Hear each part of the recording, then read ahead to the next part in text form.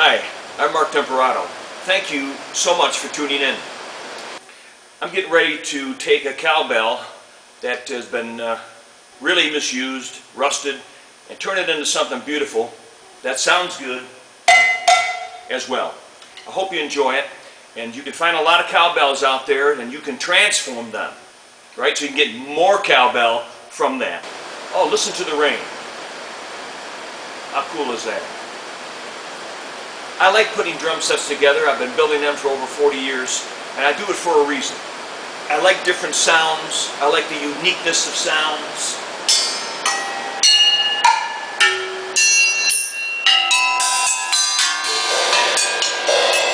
I just like sounds because it's very powerful when we begin to use them in their proper context.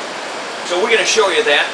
This is my 90-piece uh, practice kit my uh, 800 some piece drum set, the Guinness World Record, is over there in cases, so if I ever need it quickly, I can take off with it.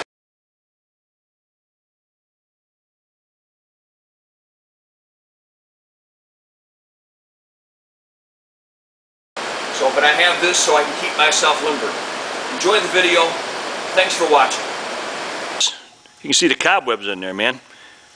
And the rust. Let's see what we can do with this baby.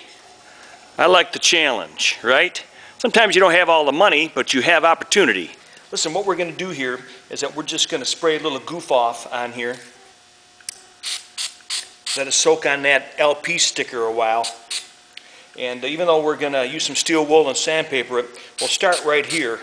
Just soak that real good. That way it'll come off a lot easier. Okay, now what we're going to do, since it's been soaking, I'm going to take a little steel wool and I'm going to start to work this thing. As you see what I'm doing here, get it right down. This is very rusted, pitted, but it's an expensive cowbell. And with a little care, a little time, this baby's going to sound and look great. Oh, there's something right there. It says uh, LP. There it is, Black Beauty. I'm using 100 grit sandpaper and 150 grit right now. And uh, I really went to it with the 100 and it's working very well. She says, is it really worth this? When I heard it, I had to say yes. Yes. Not every cowbell you hit is equal. They don't sound the same. Sometimes you hit something you go, you know something? That, that's got a great sound. Got to have that sound picked up a cool little plate, aluminum plate. Listen to this. How great is that?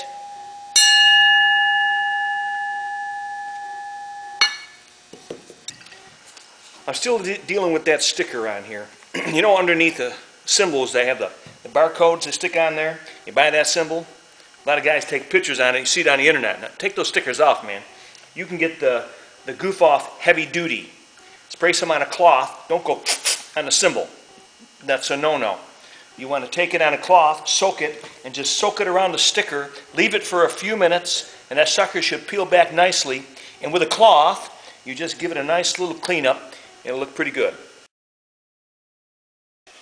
I got these 10-inch uh, Zildjians and uh, the person before us took the sticker off, but as you can see, it left a nasty glue mark there. Same over here.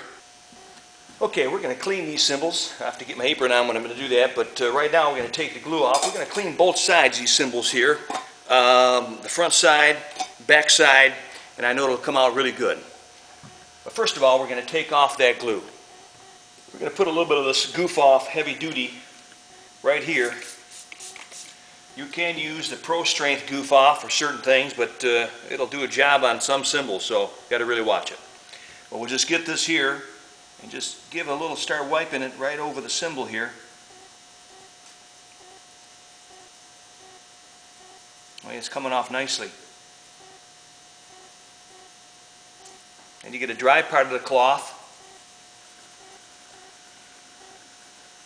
Like that. It's gone. Okay, all clean. Looking good? Looking good. Okay, I'm going to tell you a little secret here. As we're cleaning this, I'm getting it pretty clean, but I'm not going to bring it totally to metal everywhere. I don't need to. I'll tell you why. Normally I would do that and I would give it a nice, uh, clean it up, give it a nice spray of black first, in and out, or whatever color I want to spray it first. Um, you can undercoat it if you want, but you want very light paint. You want to go heavy. It does change the sound, okay? So very light, boom, let it dry. Don't get over ambitious with it. And then what I do is I get some Krylon Glitter Blast. I like this. Uh, this is Starry Night, so it'll give it a nice dark with diamond look to it. But and that, that covers any sort of scratches and gouges and things like that pretty good. Yo, no matter how clean I think they are inside, I always give them a little air spray. Spray it off. And uh, got it pretty dry and pretty clean. Okay, what I did here, instead of um, hanging this, I decided I'm going to hand spray this, hang on to it with one, that way I can get the different angles into it as well. Put it on a drumstick. I was looking for a piece, you know, when you got the largest drum set in the world, you got to have a lot of different uh, components and pieces and extras. And I was looking for a special screw, and I thought, you know, I'm just going to use the existing wing nut, and I'm going to give that a nice spray uh, sparkle as well. So we're going to start with a nice uh, satin, black satin, or black uh, gloss will do, in and out. Let it dry, then I'm going to hit it with a nice Starry Night glitter blast. That'll be pretty. It'll look nice. And then I'll get right to a nice uh, Krylon clear coating. Protect it, you know, harden it up a little bit. Yeah, it, may chip off here and there, but not as much as you would think. And if so, you can touch it up real easy. Time to spray. Okay, we got a coat of black on there right now. Putting just a little heat on it.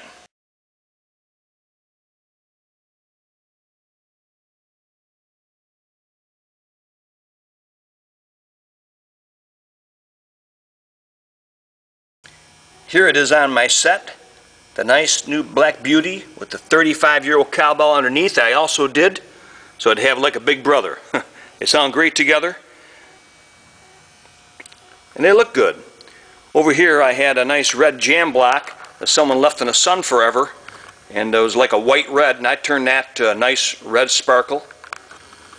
Here's that Black Beauty we painted. And it's really a beauty now. Let's hear how it sounds.